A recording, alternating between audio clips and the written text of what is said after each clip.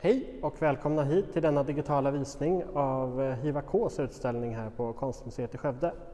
Eh, det här är en utställning som skulle ha öppnat nu men eh, tyvärr så får vi vänta ett tag till med att släppa in er besökare. Och tills vidare får ni hålla till godo med mig, Thomas Asplund Gustafsson och den här lilla digitala rundturen.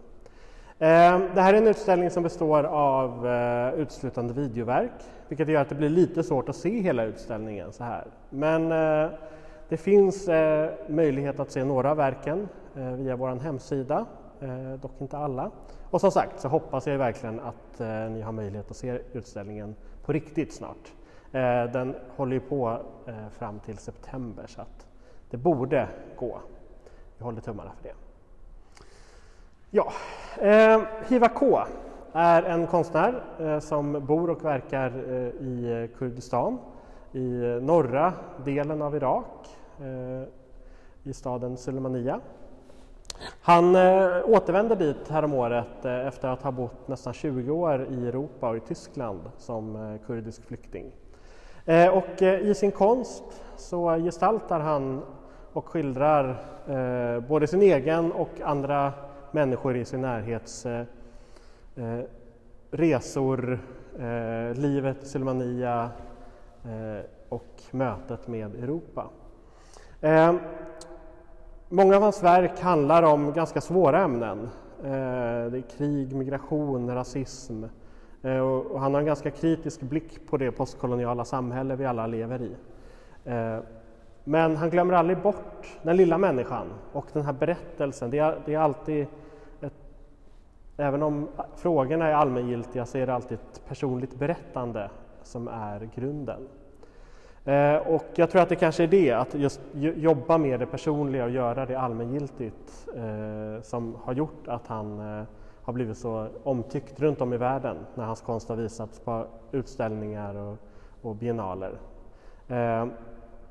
Men trots att han har visats på väldigt många platser, eh, Venedigbiennalen 2015, Documenta i Kassel eh, 2017, eh, Luleåbiennalen 2018 med mera, så är det här faktiskt hans allra första soloutställning i eh, Norden. Eh, så det är extra roligt tycker vi eh, att få vara platsen för denna händelse.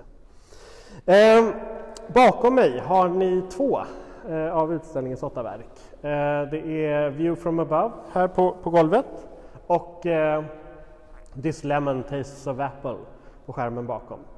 Eh, och det sistnämnda, This Lemon Tastes of Apple, är ett verk filmat 17 april 2011. Eh, det är en av de allra sista dagarna på en åtta veckor lång protest eh, som är en del av den arabiska våren.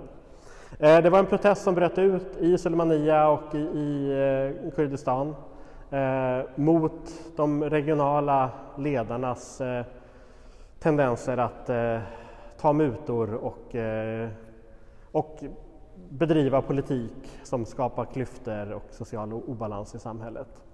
Eh, de här protesterna fick väldigt lite, nästan inget utrymme i eh, massmedia, eh, i nyhetsrapporteringen. Kanske för att de riktade sig inte mot en galen diktator utan mot, i alla fall på pappret, folkvalda ledare. Eh, protesterna blev större och större. Eh, över 7000 människor deltog till slut i dem innan eh, militären slog ner eh, demonstrationerna med eh, tårgas och gummikulor. Ehm, eh, över 400 människor blev skadade och eh, minst 10 personer miste livet. Eh, I videoverket Eh, som ni ser bakom så ser ni Hiva K eh, med ett munspel tillsammans med en gitarrist. Eh, och de två tillsammans spelar Ennio Morricones ledmotiv till spagettivästernfilmen Harmonica, en hämnare från 1969. Det är en väldigt vemodig och klagande melodi, lite monoton, som i det här fallet blir både en klagovisa men också en, någon form av kamp som, som manar på eh, demonstrationerna, eh, demonstranterna att fortsätta demonstrera, fortsätta göra motstånd. Eh, titeln, eh, den här citronen smakar äpple eh, syftar dels på den, de citronerna som skickas runt bland demonstranterna och som även Hiva K ibland måste pausa sitt munspelsspelande för att andas in i, i eh, citronen i några sekunder, för citron är en väldigt bra ett botemedel mot tårgas. Eh, och eh, äpplet här är eh, Saddams eh, kemiska vapen eh, när han eh, 1988 eh, begick folkmord mot det kurdiska folket i norra Irak med bland annat Eh, giftgas som eh, doftade äpple. Så att eh, här så blir det ju ett, en, en, en det är olika frukter och olika regimer men ändå eh, människor som, slog, slog, som fredligt demonstrerar och eh, slås ner med våld. Eh, I verket View from above bakom mig här så eh, möter vi M från landet X eh, M söker eh, asyl i ett icke namngivet eh, Schengenland. Men han anses komma från fel stad. Han kommer från den säkra zonen. Han själv upplever inte alls att han kommer från en säker zon. Han har deserterat från armén och vet vad som väntar om han återvänder. Men han får avslag på sin ansökan när han talar sanning. Då väljer han att ta sig illegalt över gränsen in i ett annan, annat Schengenland och där söka asyl på nytt, men nu under falsk identitet. Nu är M en flykting från den osäkra zonen. Ehm, och för att lura myndigheterna i det nya landet eh, att han faktiskt kommer från den här staden så tar han hjälp av eh, flyktingar som är från den här platsen. Så de, de berättar saker om staden för honom och sen så har han också då kartan som han kan studera och granska. Så han lär sig och memorerar kartan utan till. Så när dagen för intervjun kommer så eh, kan han kartan och han kan svara på frågor om staden, allmängiltiga frågor om staden. Eh, så det tar honom 20 minuter att lura den här tjänstemannen att han är från den här staden. Eh, och han får till och med beröm för att han är så bevandrad i staden. Han kan staden. Kartbilden stämmer ju precis. Eh, vad den här tjänstemannen inte tänker på, som gör intervjun, är ju att han lika lite som M har varit i staden utan båda har ju lärt sig stadens geografi uppifrån genom att titta på kartan. Medan de som ibland får vänta många år på sina, att, att bli trodda att, eh, att de faktiskt kommer från den här staden har ju inte kartbilden utan den faktiska staden. Vilken, vilket hus som kommer efter nästa, vilken affär som ligger i vilket kvarter och så vidare. Det vet de, men de kan inte sin egen stad uppifrån. Eh, och just detta är väl en av Hivakos styrkor, att, att hitta de här berättelserna som både lite irriterar men som också verkligen pekar på hur, hur, hur skevt och knasigt vi har ordnat det för oss själva. Nu kommer jag alldeles strax tillbaka med nya verk, eh, så håll, håll ut, stanna kvar.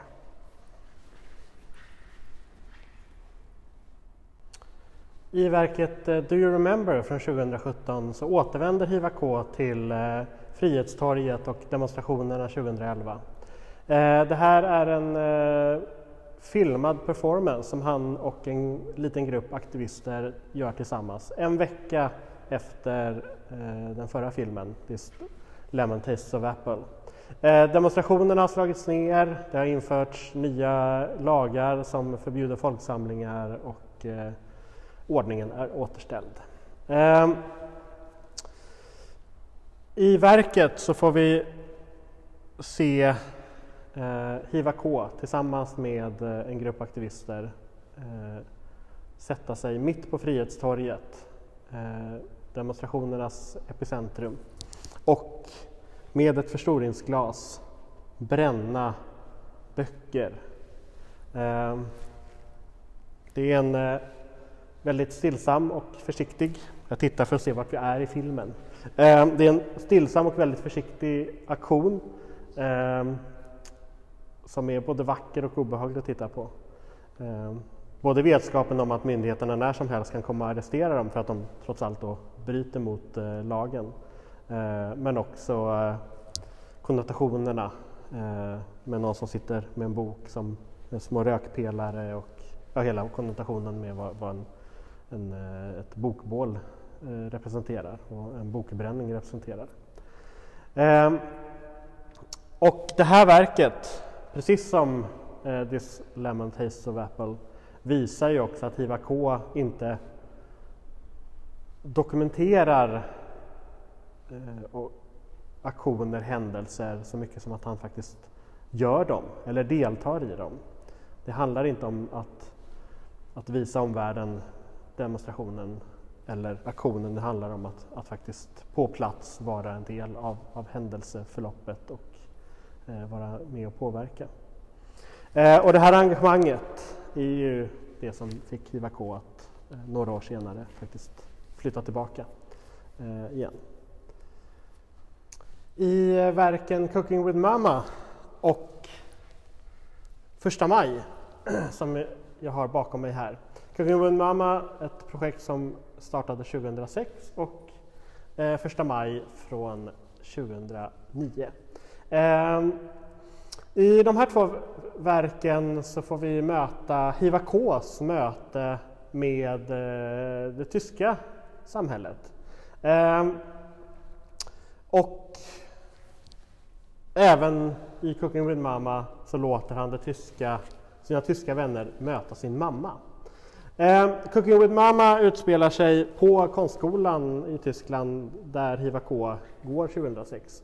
Eh, och eh, det är hans eh, kurskamrater helt enkelt som är deltagare. Eh, men också hans mamma. Eh, och det här är första gången på fyra år som Hiva K ska få träffa sin mamma. Eh, han, har inte, han har pratat med henne såklart, men han har, aldrig, han har inte sett henne på fyra år. Eh, och nu arrangerar han en matlagningskurs där hans tyska vänner ska få lära sig att laga eh, kurdisk mat. Och kursledaren är ingen mindre än Hivakos mamma. Med på länk, eh, videolänk från Kurdistan. Idag, 2021, så är vi väldigt vana vid videolänkar och att samtala med, med, människor digitalt så här som vi gör nu. Men 2006 så var ju det här inte eh, jättebeprövad teknik så att det här är ju på många sätt ett experiment. Hur ska det gå? Och hur ska det, hur ska det vara för Hiva K att träffa sin mamma igen efter så här många år? Och vad ska hon tycka om hans vänner och vad ska de tycka om honom? Det är många frågor som snurrar i Hiva Ks huvud inför det här eh, eventet. Men eh, eh, det blir så pass lyckat eh, så att det får eh, en fortsättning både en och två och tre gånger ända tills eh, Ivar Ks mamma får slut på recept och han börjar jobba med andra mammor istället. Eh, vi ska göra en, eh, eller vi, eh, Ivar K kommer i september, eh, finnissagehelgen någon gång eh, runt den 12 september, göra en eh, Cooking with Mama här. Så att eh, håll utkik efter det också.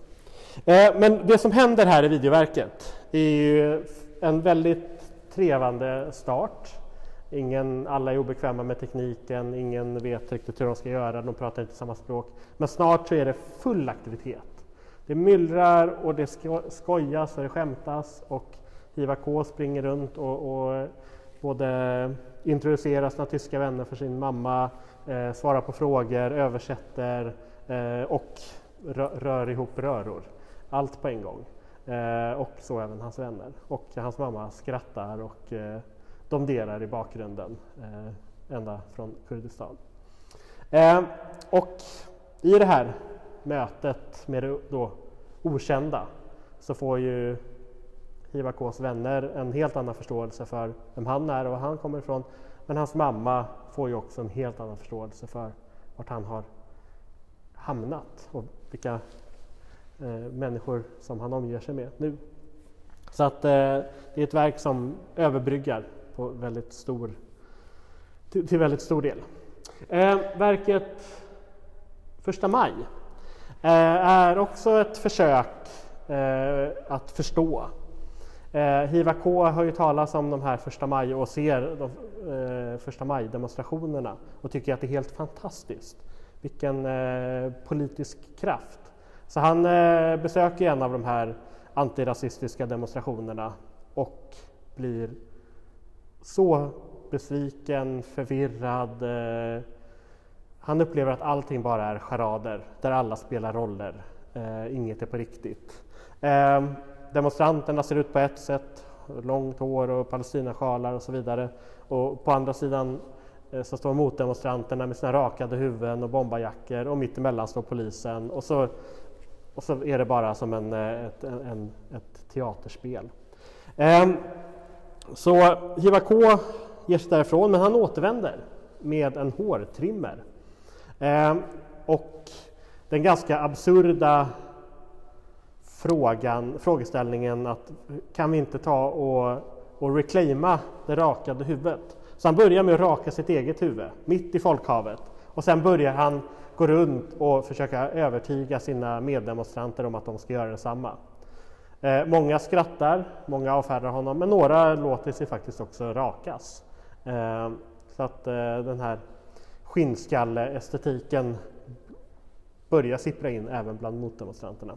Eh, och i det här så skapas ju också väldigt många frågor och många positiva och, och eh, det öppnar upp för väldigt spännande samtal. Samtal som aldrig hade hänt annars.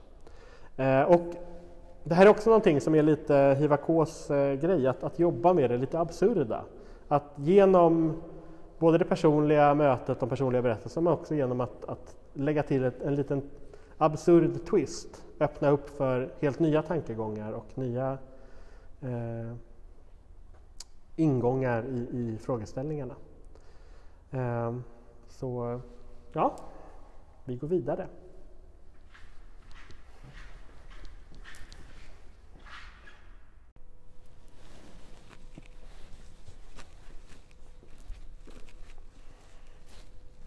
Mannen vi såg här eh, gå tillsammans med Hiva K var Nassad. Eh, nu står jag framför verket Nassad and the Bellmaking, ett verk från 2015. Eh, det här är ett tvådelat videoverk. Jag står framför den ena delen, eh, den andra delen visas tvärs över rummet. Eh, och i delen som jag står framför nu så får vi möta Nasad i hans metallgjuteri i norra Irak. Nasad är en kurdisk entreprenör som har blivit rik genom att samla in krigsmateriel. Allt du kan tänka dig, delar från gamla stridsflygplan, eh, pansarvagnar, eh, bomber, eh, granathylsor, eh, kulor, allt. Och den här metallen som han samlar in sorterar han och smälter ner och gör ren metall av som han sedan säljer till tillverkningsindustrin både i Kina och i västvärlden. Och det här är ju ett väldigt, på ett sätt, fint kretsloppstänk. Eh, Nasad gör ju absolut en, en, en god gärning när han eh, renar eh, landskapet i Irak från eh, gamla farliga vapendelar och eh, minor och så vidare. Eh, Nasad själv haltar för han har trampat på en italiensk tillverkad mina. Och eh, Italien återkommer i det här verket. Men det är inte bara Italien som har bidragit med vapen och ammunition till eh, kriget mellan Irak och Iran på 80-talet och sen följt av de två Gulfkrigen, eh, USA-ledda Gulfkrigen 91 och 2003.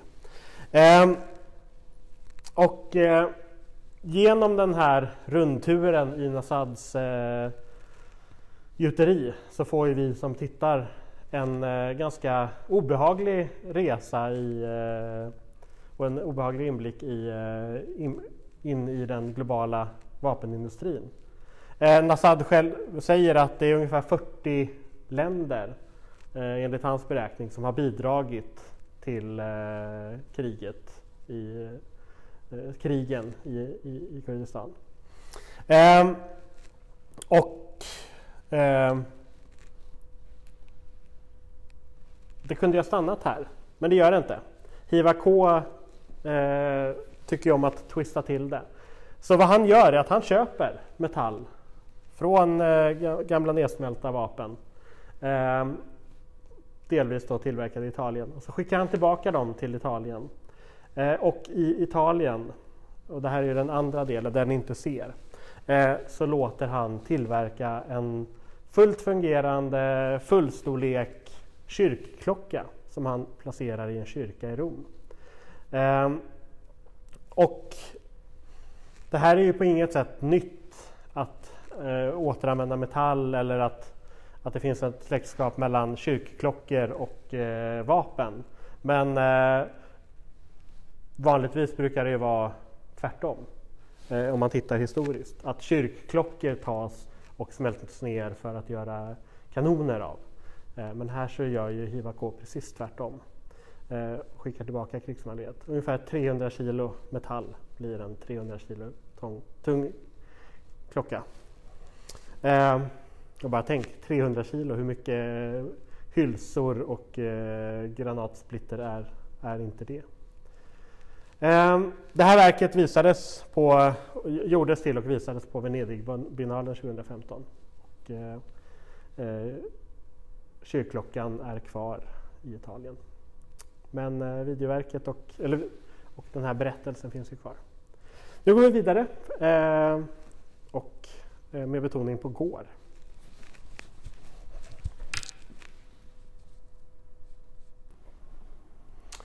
Nu har vi flyttat upp oss på balkongen här inne i Stora galleriet och här eh, visas verket Pre-Image, Blind as the Mother Tongue.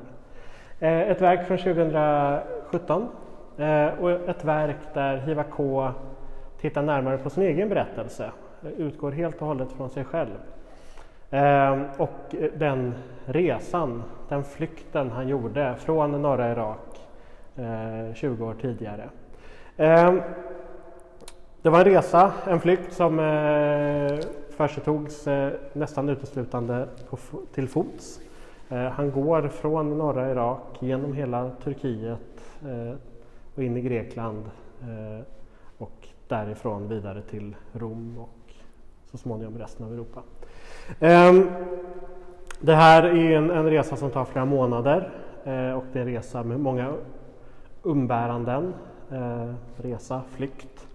Ehm, och i verket berättar Hiva K om några av de här episoderna, om hungern, om det nästan eh, euforiska tillståndet som, som kommer med hunger och svält. Eh, han berättar om resväskan med eh, abstrakta målningar han bär med sig. Eh, han berättar om människor han träffar på vägen, eh, för det här är ju en vandring som sker eh, ofta tillsammans med, med andra människor. Och han berättar om ganska jobbiga saker. Människor som dör, familjemedlemmar som går bort och så vidare. Ehm, men verket är ju så mycket mer än bara en, en fragmentarisk berättelse om händelser som skedde för, för 20 år sedan. Ehm, och de här händelserna, den, här berättelsen, den är ju Hivakos egen men den är ju också all, alla människor som har flytt har ju liknande historier. Så den är ju på många sätt väldigt allmängiltig. Ehm, men i verket så är det inte bara ett berättande av händelser utan det är också en en vandring. Ivar K själv rör sig på samma stigar, samma vägar som han en gång gick. Men nu med en lång eh, pinne med en massa backspeglar, en massa speglar på eh, som han balanserar på, eh, på, på näsan. Eh, och den här balansakten Eh, och det faktumet att han måste gå så här eh, och tittar ser sin, sin väg eh, lika fragmentarisk som, som han berättar om den för oss. Eh, blir också väldigt symbolstark för både hur, vilka fragment av, av det, han ser ju både bakåt och framåt åt sidorna på alla håll, men han ser ju samtidigt ingenstans ordentligt. Eh, så att det blir en väldigt, det, som betraktare nästan lite jobbigt att, att titta på när han måste både balansera den här pinnen och se till att inte snubbla på trottoarkanter medan han gör det. Ehm, så det blir ju en väldigt symboliskt laddad eh, eh, händelse när Ivar K iscensätter någonting som vi alla lever i. För ingen vet ju vad som väntar bakom nästa krök, eh, vad livet har att erbjuda just oss. Eh, vi, vi, kan ju bara få glimtar av framtiden eller hoppas och, och tro eh, och vi, kan, vi, vi, kommer ihåg vissa saker från, från förr eh, men vi kommer ju inte ihåg allt som hände. Eh, så det här är en väldigt fin avslutning tycker jag själv på den här lilla rundvandringen. Eh, och just det här hur, hur Hiva K gång på gång lyckas ta det personliga, i det här fallet väldigt personliga, och göra allmängiltigt och göra någonting som vi alla kan identifiera oss i. Även om vi inte har varit på flykt, även om vi inte vet hur det går. känns att balansera en eh, lång eh, stav med, med speglar på, på näsroten. Eh, så kan vi ändå känna igen oss i berättelsen. Med de orden tackar jag för mig och eh, som sagt jag hoppas verkligen att vi ses snart på riktigt. Eh, det vore så himla kul. Tack och hej!